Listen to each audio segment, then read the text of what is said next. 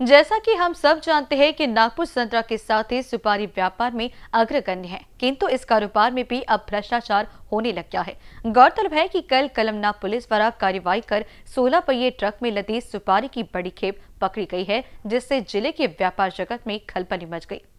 ज्ञात हो कि नागपुर में लंबे अंतराल के बाद सुपारी कारोबारियों के खिलाफ कार्रवाई की गई है जाकर कलमनाग पुलिस ने 16 पहिए ट्रक में लदी सुपारी की बड़ी खेप पकड़ी है। बताया जाता है कि यह असम से आई सड़ी सुपारी है। लाखों रुपए का यह माल सुपारी कारोबारी मोहम्मद आफ्ताब मोतीवाला अलमाज अपार्टमेंट मुदलियार चौक शांति नगर नागपुर निवासी का है। चर्चा है कि मोहम्मद आफ्ताब मोतीवाला का यह माल कलमना क्षेत्र के कोल्ड स्टोरेज में उतारा जाने वाला था। सोनू व हिमांशु नामक व्यक्ति असम के सिलचर से यह माल लेकर नागपुर आए थे। चर्चा ये भी है कि जिस कोल्ड स्टोरेज में यह माल उतारा जाने वाला था, वह कोल्ड स्टोरेज विनोद हेमदानी का है। खामला निवासी विनोद हेमदानी का मारवाड़ी चौक, इतवारी में कार्यालय है, जिसके बीच कलंदा पुलिस को भनक लगी तो वरिष्ठ अधिकारी को जानकारी दी गई। उसी दौरान पुलिस परिमंडल पाँच के उपायुक्त निकितन कदम के मार्गदर्शन में कलमना के वरिष्ठ पुलिस निरीक्षक गोकुल महाजन ने सहयोगियों के साथ कार्यवाही की। उक्त मामले में गहन छानबीन होने पर नागपुर में सुपारी के अवैध कारोबार का भी बड़ा खुलासा हो सकता है।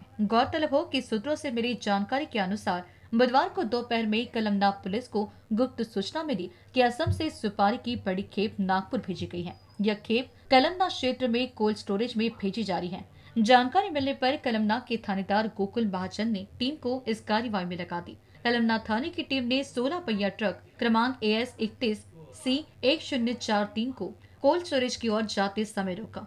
ट्रक में करीब 250 बोरी सुपारी लदी हुई थी। जाँच के दौरान पता चला कि सुपारी खाने योग्य नहीं थी। इसलिए पुलिस ने ट्रक को माल सहित जब्त कर एफटीए को सूचित कर दिया। जाँच के दौरान यह पता चला कि सुपारी मोहम्मद आफ्ताब मोतीवाला की है। मोहम्मद आफ्ताब मोतीवाला मुदलियार चौक में बने अलमास नामक आलिशान अपार्टमेंट में रहता है। उस अपार्टमेंट को बनाने वाला भी किसी समय सुपारी के अवैध कारोबार में लिप्त था लेकिन अब वह बिल्डर का कारोबार करता है उस अपार्टमेंट के अधिकांश खरीदार नागपुर के पहाड़ के बताए जाते हैं। इस आलिशान अपार्टमेंट में रहने वाला मोहम्मद आफ्ताब मोतीवाला सुपारी के कारोबार में कब से लिप्त है, इसकी जाँच पड़ताल शुरू कर दी गई है। इस घटना से सुपारी के अवैध कारोबारियों के नाम जल्द सामने आने की उम्मीद की जा रही है, जिसके विषय में जानकारी दी वरिष्ठ पुलिस निरीक्षक गोकुल महाजन ने। हा दिनांक सात दोन दोन हजार चोवीस रोजी संध्याकाळी सतराशे वाजेच्या दरम्यान आम्हाला एक माहिती मिळाली की सडकी सुपारीचा ट्रक येणार आहे. त्या अनुषंगाने आम्ही आमच्या अधिकाऱ्यांना त्या ठिकाणी पाचारण केलं. पाचारण केल्यानंतर सदरचा ट्रकची पाहणी केली असता सडकी सुपारी आढळून आली. सुपारी ही ताब्यात घेतली पोलीस स्टेशनला आणली. पोलीस स्टेशनला लावण्यात आली.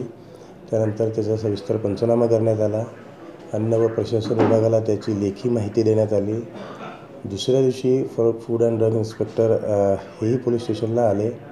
आल्यानंतर त्यांनी त्यांना आम्ही हे सर्व ट्रक ट्रकमधील सर्व सुपारी आणि सविस्तर पंचनामा करून त्यांच्या ताब्यात देण्यात आलं. त्यांनीही त्यांच्या स्तरावर कायदेशीर कारवाईच्या अनुषंगाने जप्ती पंचनामा केला. त्या सर्व ट्रकला सील केलं मालाला सील केलं. त्यातून काही त्यांनी प्रयोगशाळेसाठी नमुना काढला आणि सर्व त्यांच्या स्तरावर कारवाई होत आहे. आता हा जो ट्रक आहे हा ट्रक आसामकडून आलेला होता. ट्रकचे चालक आणि मालक हे आसामचेच आहेत. या ठिकाणी कोल्ड स्टोरेजचे मालक आहे विनोद हेमनानी. यांच्या कोल्ड स्टोरेजमध्ये हा माल टाकणार होते. त्याच्यानंतर सुपारीचे जे मूल मालक आहे ते मोहम्मद आफताब मोतीवाल. एकतीस वर्ष शांतीनगर नागपूर असे आहेत आणि ट्रक चालक मालक हे आसामचेच असल्यामुळे अन्न व सुरक्षा विभागाचे जे अधिकारी आहेत मानवटकर साहेब यांना सर्व डिटेल्स आम्ही सुपूर्द केलेले आहे. त्यांच्याकडून जी कारवाई होईल त्यानंतर त्या अनुषंगाने पुढील कारवाई करण्याची नियोजित आहे. कैमरा पर्सन अखिलेश भारद्वाज के साथ मनीष टेबरे की रिपोर्ट